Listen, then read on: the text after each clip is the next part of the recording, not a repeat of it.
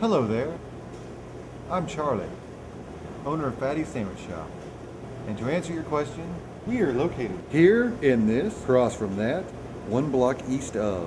here. And to answer your next question, what is a fatty? Well,